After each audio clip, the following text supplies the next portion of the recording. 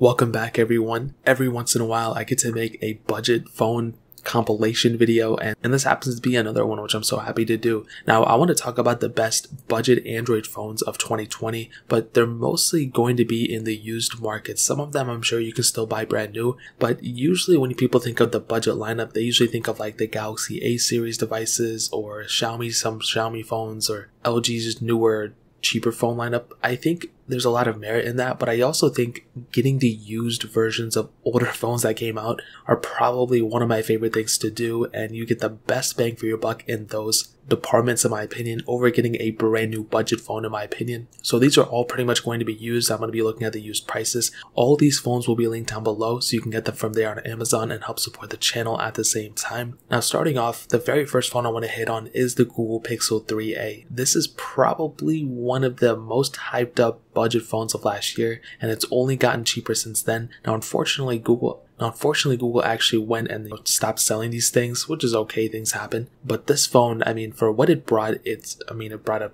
AMOLED display, which was super nice, a couple gigs of RAM, which is cool, software updates for a while, and it doesn't even feel that cheap of a phone. I mean, it feels pretty good. Definitely isn't a cheap phone. Yeah, when you're feeling it, maybe it doesn't feel like the most premium thing now I think about it, but it's a very good phone. The camera is very, very good for the most part. You have that fingerprint sensor on the back, you know, a little bit of bezel on the front, but still a pretty good looking phone overall. When I messed with it last year, I was super happy about it. And even when I mess with it now, it's still a very good phone. And you can find them for like less than 200 bucks if you really look hard enough. I'm sure on eBay you can get them for less than 200. On Amazon, prices are a little bit more usually, but they're usually better quality and all that. So that is my very first phone would probably be the Pixel 3a and that's probably one of the cheaper ones on my list to be honest. Now the next one is a little bit more expensive but still compared to a lot of the $1000 phones plus that we have in the market right now, this is definitely one of my favorite ones that I talk about a lot and that's the Samsung Galaxy S10. This is a tremendous phone. It's still talked about every time I talk about this device.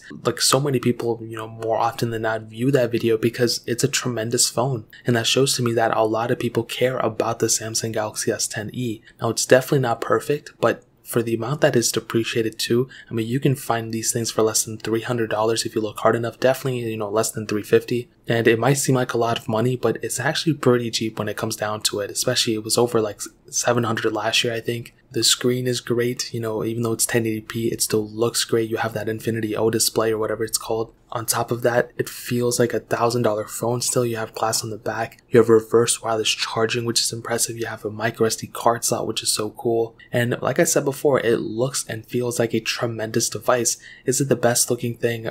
Probably. Actually, I think it looks pretty good. I mean, there's, you know, very little bezel on it. It got One UI 2. It's getting another version of Android as well. And for the most part, you know, it's a pretty good phone for the, for everything you're going to throw at it. The cameras are great on it. USB-C, don't forget about that. And I think for a majority of people out there, the Samsung Galaxy S10e, you can buy this phone and feel like you still have a very, very premium flagship and not necessarily feel like you have to go switch or anything like that because it's still a tremendous phone. So for sure, the Samsung Galaxy S10e is one of my favorite phones out there. The next one is the OnePlus 7 Pro. Now this is definitely a little bit more expensive than those ones you think, but I think these ones you can still find them for less than 300. I found a lot of these on eBay for like less than 300 and something, $320. And that's actually very, very weird because, well, first of all, it wasn't really too expensive when it came out last year, but considering what you're getting and how big of a phone this is and just how many features are packed into it, on top of that, on the software that it's on, it's a very impressive thing that OnePlus was able to do with this device. It's definitely not perfect, it has a lot of weird things going with it, but it's still one of my favorite devices. You have that pop-up camera, you have very, you know, you know, just like almost no bezel on this phone, no camera hole, but you do have that pop-up camera like I stated. You have USB Type C you have a very, very minimalistic software on it. The software is tremendous and definitely one of my highlighted features on this thing. The cameras aren't the greatest, but they definitely get the job done. Like if you're in a pinch and you need to use it, I mean, go for it. It's not, I'm not gonna stop anybody, but performance on this thing is still great. Anytime I did anything with it, it was top tier. And I just compared it to my OnePlus 8 and OnePlus 8 Pro. And even though those phones were faster and everything, the OnePlus 7 Pro still held its own and it still felt like a very, very premium phone. So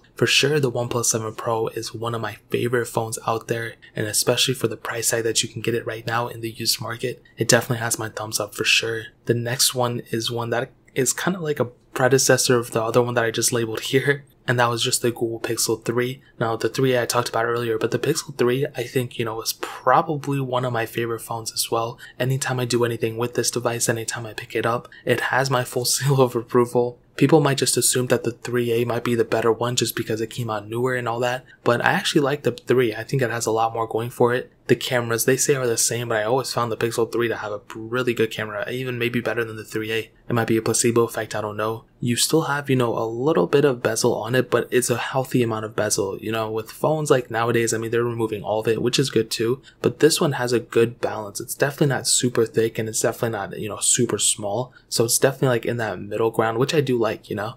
It has USB C and it feels pretty good in the hands, even though it's made out of whatever it is, polycarbonate, whatever it is, I don't know. It still feels pretty good. It has a good heft to it as well. The screen looks great and performance is top tier as well. This thing's still getting, I think, another version of Android, maybe even another one, who knows. But because this thing is a stock Google phone, you can easily go custom ROM it or do whatever you want to as well. The development community behind these phones is tremendous. So you can go do whatever you want to with it, which is really cool. And right now it's on Android 11, which is really awesome as well. So it's got Android 10 right now. It's getting Android 11 officially very soon. And then it's going to get Android 12, which is going to be super impressive. So this thing's going to stop at Android 12, which I'm really happy about. So this thing's going to last you for a very, very long time. So that one was the Google Pixel 3. Now the next one is kind of a predecessor as the one I said before also. And this one is the OnePlus 6T. And I talked about this phone last year. I talked about it again this year and I like this phone a lot. And I picked mine up for I think like $210 to $220. I forgot how much I paid for it, but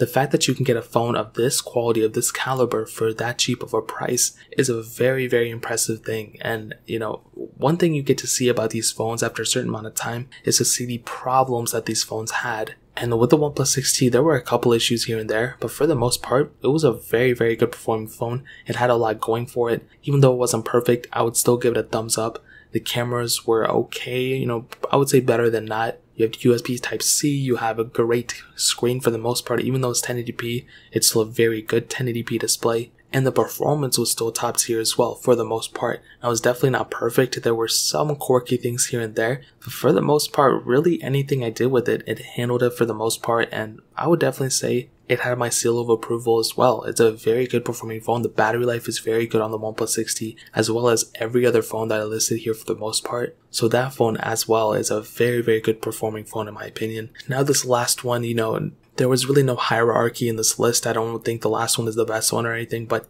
the Samsung Galaxy Note 9 I think is another phone that should be on this list for the amount of value that you're getting from this phone and the amount of depreciation that this phone saw. I think is pretty impressive for the most part because it's uh, like completely performing. I mean, it performs so good on One UI 2. This phone, even though Android 10 wasn't a huge update, it definitely brought a couple of new features for the most part, which is super cool. This thing brought those gestures, which is so cool. And on the Galaxy Note 9 on One UI 2, I think it's such a cool mixture. And I think for anybody out there who's in the middle or whether they don't know whether they want to spend the money or don't, getting a Note 9 I think is a very good mixture of value, performance and just features in, in general. Now you still have USB-C. I don't even know why I say USB-C as if it's some type of feature, but you get the great build quality. You get the fingerprint sensor on the back, great cameras. You still maintain the headphone jack, the S Pen, which is so cool, as well as the micro SD card slot. I mean, there's so much capability behind this phone, and you can pick these things up for less than $300 pretty much everywhere where I was able to see. And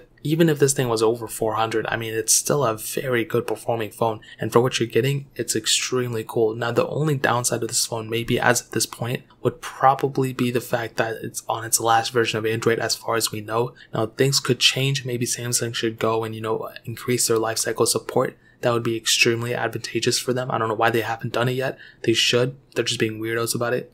But that's really the only downside i can think of pretty much for everything else it's a pr- it's a very good performing phone, and I'm sure if you spend the money, you're going to be extremely happy with it for sure. So those are my list of basically my favorite budget phones of 2020. Again, these are used phones, these aren't necessarily brand new, but if you want to go the brand new route, your best bet is going for the Samsung Galaxy A series, even some budget OnePlus phones out there. The OnePlus Nord or whatever it's called should be coming out as well soon, so I guess we'll see what happens there. But these phones are very good in my opinion, and I liked every single one of these whenever I use them. So that's really pretty much it. All these phones, like I said before, will be linked down below, so you can go and get them from there and help support the channel at the same time. But that's really pretty much it. If you guys have any other questions or anything, let me know in the comment section as well. Hit the like button, that would mean so much, but definitely hit that subscribe button. Every single subscriber that we get really does count, so it means so much if you guys can hit that. Also, check out the other links down in the description as well. My Twitter, my Instagram, my second channel. More importantly everything else, I love every single one of you guys. Hopefully, I'll catch you guys in the next video. Peace out, then.